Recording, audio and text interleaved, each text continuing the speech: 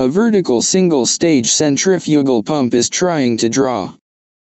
In centrifugal pump, liquid enters the center or eye of the impeller, and flows radially out between the vanes, its velocity being increased by the impeller rotation. A diffuser or volute is then used to convert most of the kinetic energy in the liquid into pressure. So, centrifugal pump is a dynamic pressure displacement pump, where tangential acceleration of fluid is imparted into pressure energy by centrifugal force due to the rotation of the impeller. Materials Casing, gunmetal for seawater, cast iron for fresh water. Impeller, aluminium bronze.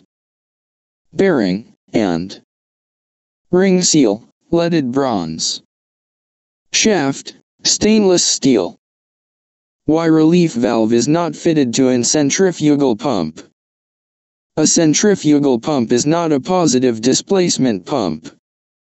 So they can run against a closed outlet pressure and produce the locked outlet pressure. But no harm will be done. The liquid will circulate inside the pump, the power requirement will drop as there is no displacement, but that's it. The liquid inside the pump body will be heated up by the friction, so it should not last too long. At least, there is no need for a relief valve like on positive displacement pump. State distinct characteristics that separates centrifugal pump from other pumps. Flow varies with changing pressure. Efficiency decreases with increasing viscosity.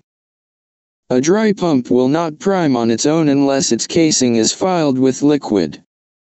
Converts rotational energy into moving fluid. A type of dynamic axisymmetric work absorbing turbomachinery. Why centrifugal pump may require a priming pump. Priming is the process in which the impeller of a centrifugal pump will get fully submerged in liquid without any air trap inside.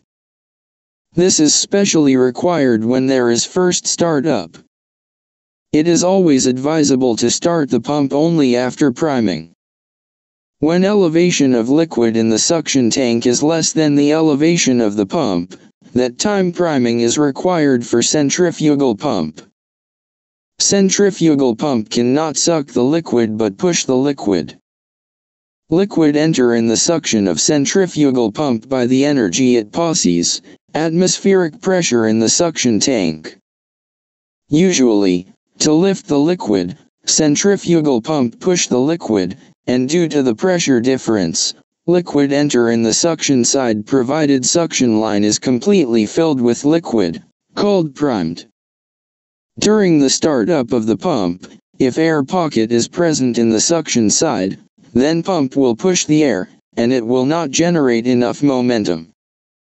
As a result suction air will try to expand, and it will block the liquid from entering into the centrifugal pump. Also, if pump is allowed to run in this condition for longer duration, it will overheat the system and eventually pump will fail. So to avoid these problem we do the priming operation.